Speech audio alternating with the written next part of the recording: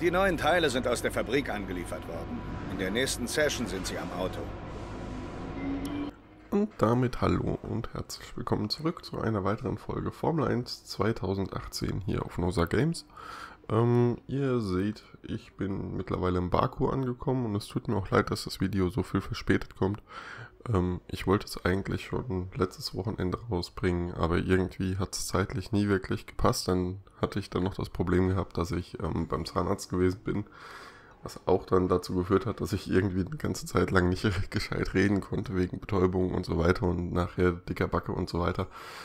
Ja, Fakt ist auf jeden Fall, jetzt geht's wieder und ähm, das ist auch der Grund, warum ich das Ganze jetzt wieder nachsynchronisiere. Beim nächsten Mal stelle ich mir das Mikro wieder nebendran, da ja viele gesagt haben, dass es doch ein bisschen schöner ist, wenn ich einfach neben dem, nebenher während dem Rennen einfach ein bisschen was erzähle.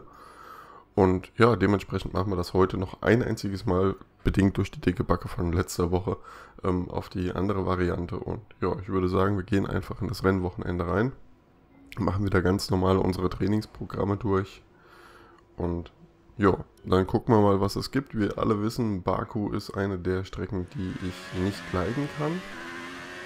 Ich weiß auch nicht wieso. Ja. Gerade hier bei dieser Ecke hatte ich immer so den Eindruck, es geht mal ein bisschen früher zu bremsen, um dann beim nächsten Mal wieder festzustellen, dass es viel zu spät war. Ich hatte hier sehr große Probleme gehabt, was man auch ähm, daran sieht, dass ich die Trainingssessions wie oft neu gestartet habe. Das werdet ihr nachher hinten raus sehen, wenn ähm, die ganzen Fail-Dinger kommen. Ich habe irgendwie das ganze Rennwochenende versucht, während der Trainings meine Bremspunkte so sauber zu finden wie möglich. Aber allein hier vorne in der ersten Kurve bin ich auch zwei, dreimal wüst gerade ausgeräubert und musste daraufhin dann mein Trainingsprogramm einfach neu starten, beziehungsweise ähm, nochmal machen. Und das war äh, ja sehr bescheiden gerade beim, jetzt muss ich gerade überlegen, was war es, beim, wie heißt das denn nochmal, beim Strategiemanagement. Da war es am häufigsten passiert. Ich bin immer eine Runde gefahren und dann in der zweiten habe ich mich irgendwo brachial verbremst, war hinter der Zeit und habe es nicht mehr wirklich hinbekommen, dann die anderen Runden auch so sauber zu fahren. Ich glaube, das habe ich drei oder vier Mal ähm, machen müssen, das Ding. Das war also ziemlich heftig. Dann habe ich noch ein paar Mal das Auto wüst in die Wand gesetzt. Ja. Komischerweise, wenn dann mal was rundgelaufen ist, so wie hier jetzt gerade, dann, ähm, dann war das halt wirklich eine recht gute Runde, wobei ich sagen muss, man stellt hier auf der Geraden fest, dass der Verschleiß teilweise und auch die Rundenzeiten ziemlich unterschiedlich gewesen sind. Also gerade bei der Qualifying Pace habe ich mir einen Wolf abgebrochen, um hinzubekommen, dass ich diese, diese eine Runde wirklich sauber gezeichnet hinkriege. Das war echt mysteriös. Ich war den ganzen Kurs schneller, um dann auf der Start- und Zielgeraden am Boden zu verlieren. Also es war schon recht heftig. Na gut. Wollen wir nicht weiter meckern. Hier sehen wir auch gerade nochmal vorhin das angesprochene Strategiemanagement. In dem Durchlauf hat es dann geklappt. Das war im dritten Training genauso wie die Quali äh, Qualifying Pace. Die haben wir auch im dritten Training gemacht, weil alles andere habe ich vorher die Zeit komplett aufgeraucht für und auch die ganzen Reifen. Das war wirklich übel.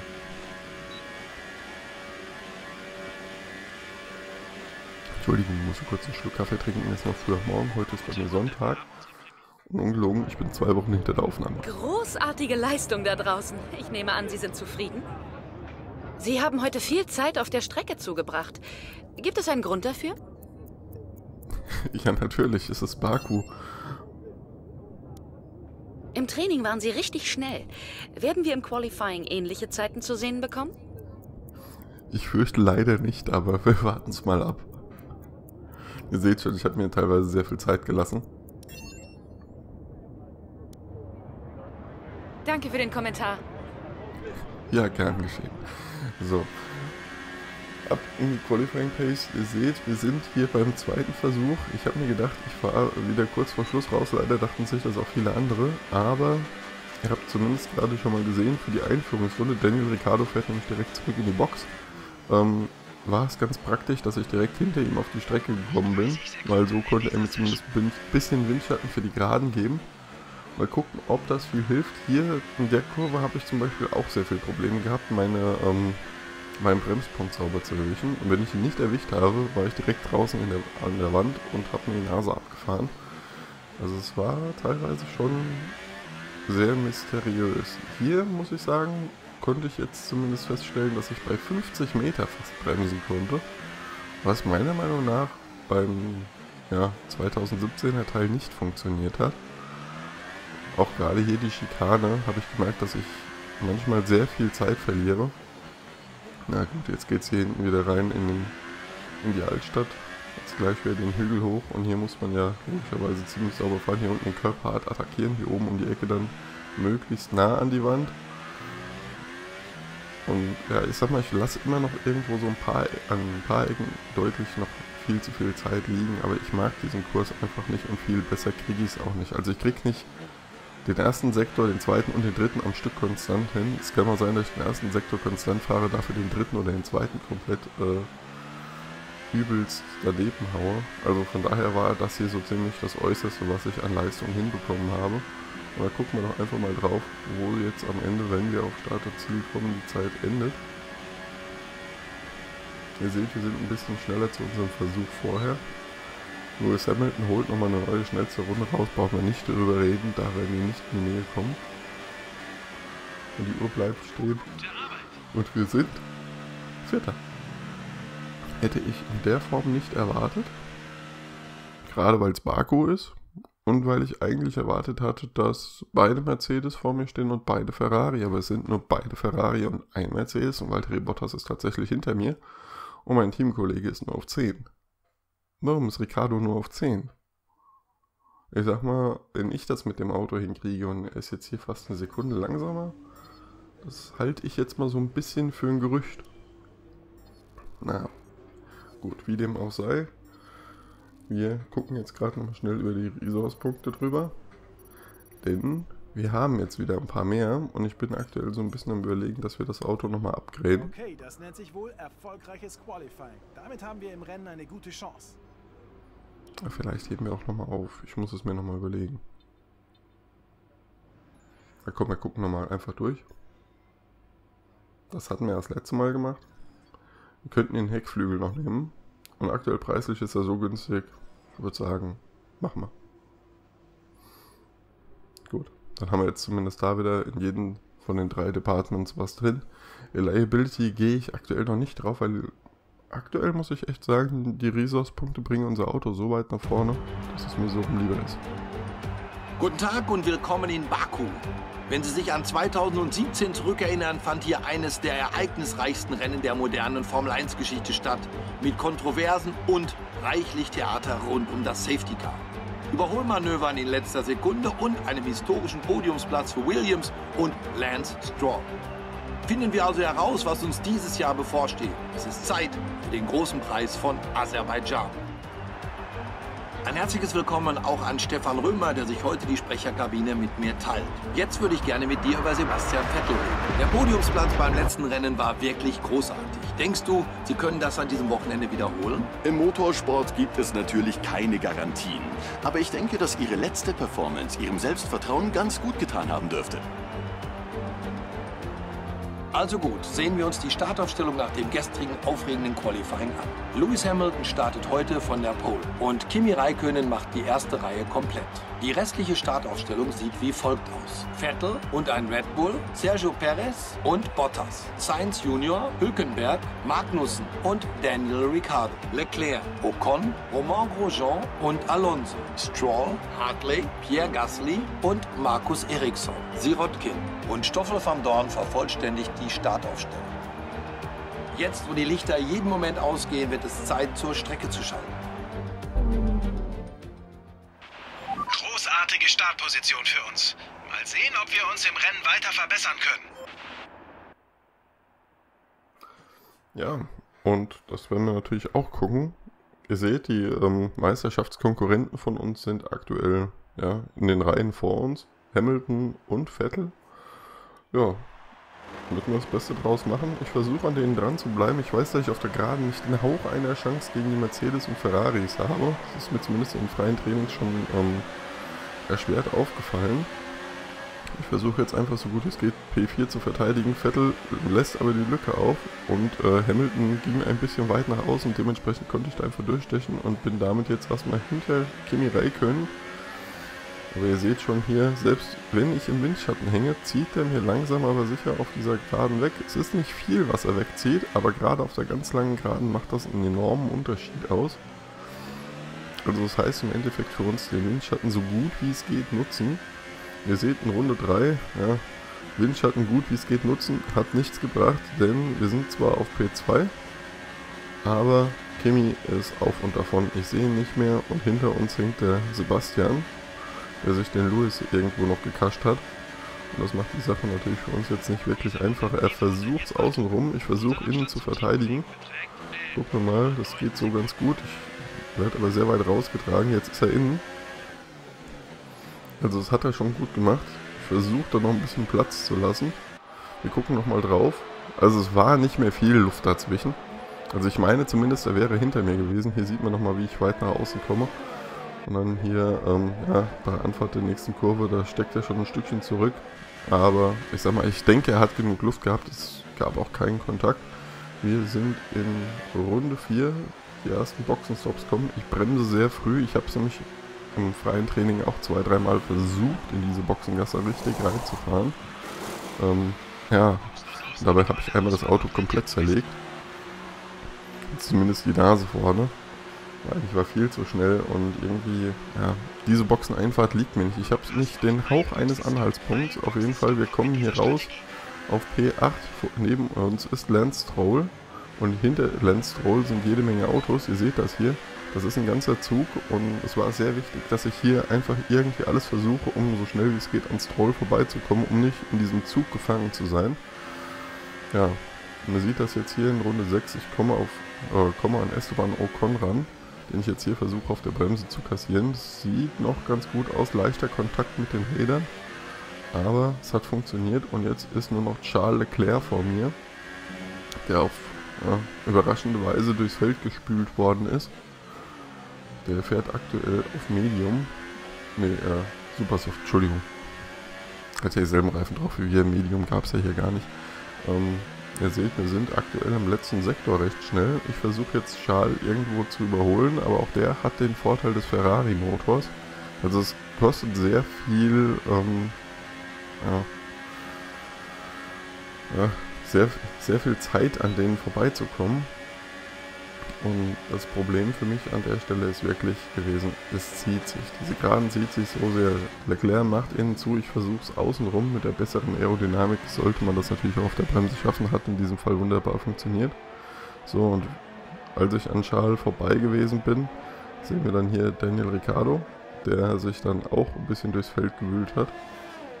Äh, Quatsch, das war gar nicht Daniel Ricciardo, das war das Überholmanöver von, von außen. Ich bin so hohl. So, auf jeden Fall Esteban Ocon ist raus. Und ähm, ja, damit war dann ein weiterer Puffer nach hinten auf Valtteri Bottas erstmal weg. Und ihr seht schon, wir sind in Runde 15 und das war es erstmal für uns. Nach vorne geht nicht mehr viel, nach hinten nur noch Valtteri Bottas. Wir fahren das zweite Mal in die Box. Wir müssen ja hier die Zwei-Stopp-Strategie leider machen, ihr habt es vorhin gesehen. Ich habe auch nochmal geguckt, die Drei-Stopp hätte hier nichts gebracht. Dafür ist halt ähm, dieser Vorteil, den du über die und Zielgeraden hast, was du da aufholen kannst, einfach viel zu mächtig. Du verlierst viel zu viel Boden. Ich mache hier auch noch einen groben Schnitzer beim Rausfahren.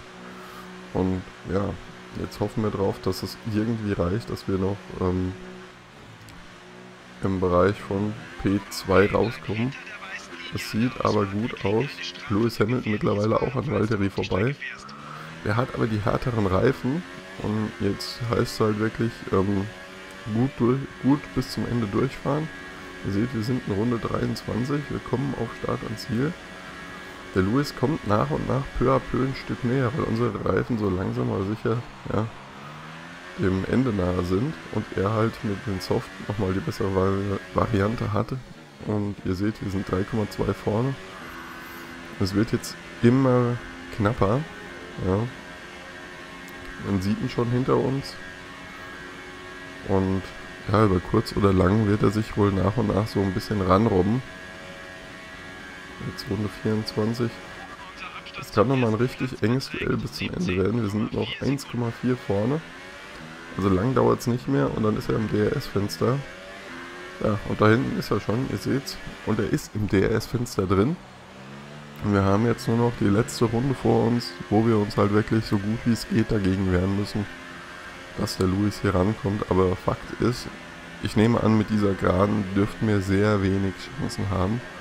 Das Einzige, was ich mir vorstellen kann, ist, dass wir hier vorne, wenn wir ähm, frühzeitig den Windschatten ihm irgendwie abnehmen, dass er nicht so viel aufholen kann und ihn vielleicht hier, je nachdem von wo er es probieren wird, entweder ob er es außenrum probiert, dass wir ihm da dann halt quasi die Lücke so nach und nach so ein kleines bisschen enger fahren, dass die KI vielleicht nochmal zurücksteckt, so wie sie es früher gemacht hat.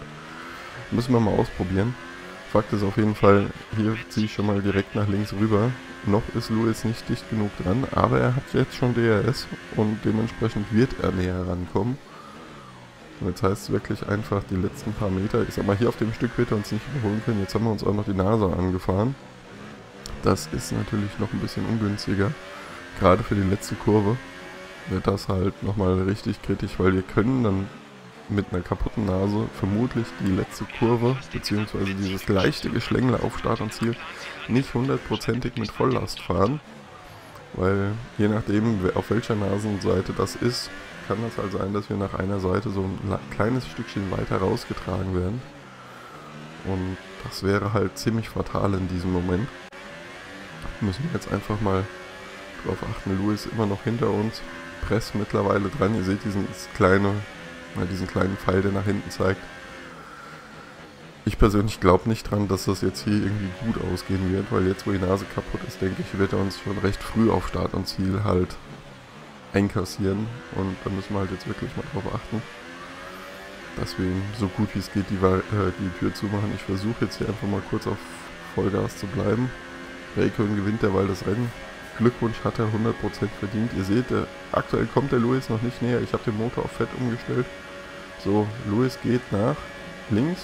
Das heißt, wir könnten jetzt versuchen, ihn hier so ein bisschen Richtung Boxenmauer zu drücken. Daneben war er, hat uns, ist uns gegen das Rad gefahren.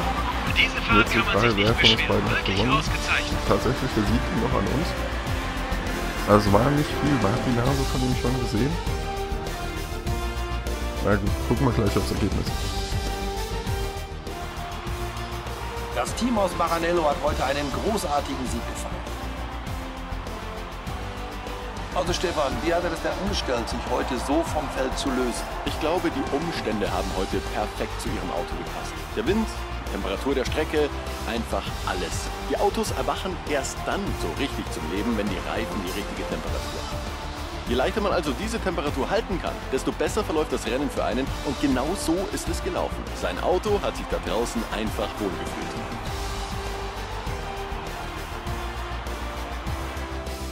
Willkommen bei der Siegerehrung der besten drei des heutigen Tages. Was haben Sie heute in diesem äußerst schwierigen Rennen bloß für einen Aufwand betreiben müssen?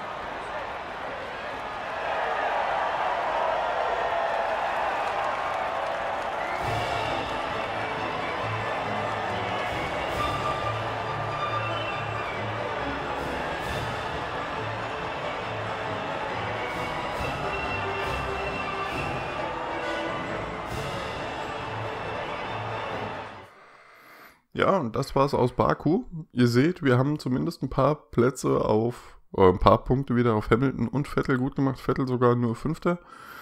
Daniel ist nur Zwölfter geworden. Sehr schade für unseren Teamkollegen. Obwohl Sergio Perez noch eine 5 Sekunden Strafe bekommen hat, hat das für ihn leider nicht gereicht. Naja gut, müssen wir halt wirklich mal so ein bisschen die nächsten Rennen abwarten. Teamwertung, beziehungsweise Fahrermeisterschaft, wir haben 20 Punkte Vorsprung. Wir sind wieder auf P2. Obwohl wir waren die ganze Zeit auf P2. Na, ist egal. Ähm, ja, das war's von mir. Und ich lasse jetzt einfach den Abspann für euch noch so ein bisschen durchlaufen mit Interview und so weiter. Und sage dann Tschüss, bis zum nächsten Mal, wenn es wieder heißt Formel 1 2018. Macht's gut. Die Fans haben das wirklich genossen. Bei ihnen sah das leicht aus. Es steht wohl außer Frage, dass Sie hier alle Erwartungen übertreffen, nicht wahr?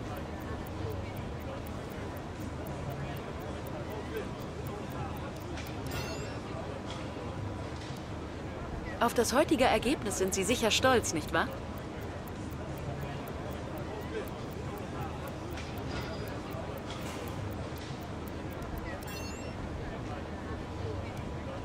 Denken Sie, Sie hatten Glück, Ihr Rennen nicht mit diesem Zusammenstoß beendet zu haben?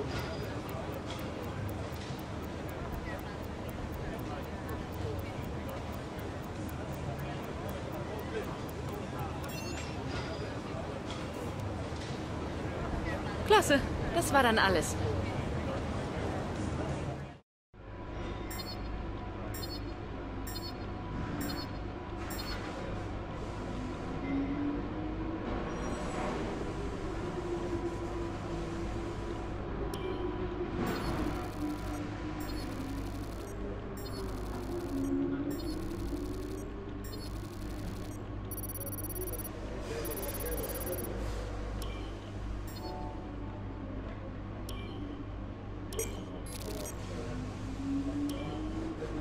Tolle Arbeit an diesem Wochenende. Dich auf dem Treppchen zu sehen, macht mich stolz.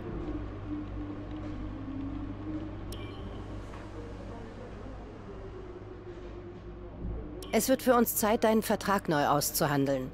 Hier siehst du die aktuellen Angebote. Sobald die Verhandlungen beginnen, wird dir das Team ein Angebot machen. Du kannst zwar das aktuelle Angebot annehmen, aber ich empfehle dir wärmstens bessere Konditionen auszuhandeln.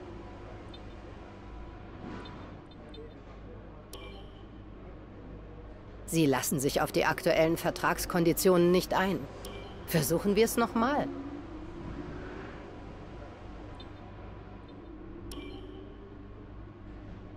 Sie haben diesen Vertragsbedingungen nicht zugestimmt. Wir sollten es erneut versuchen.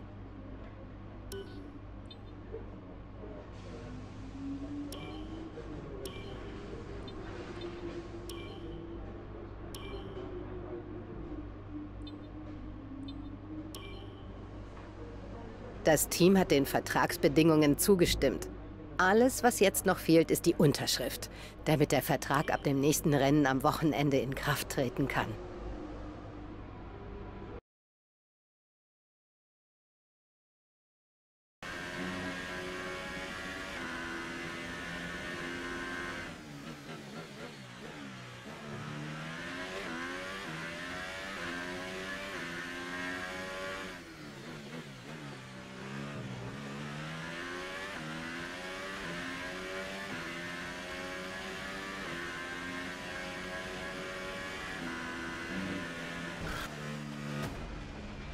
Das sah böse aus.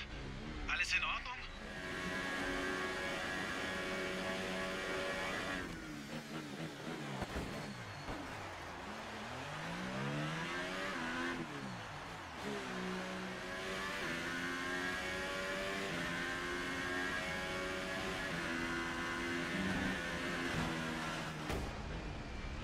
Ist alles in Ordnung? Das war heftig.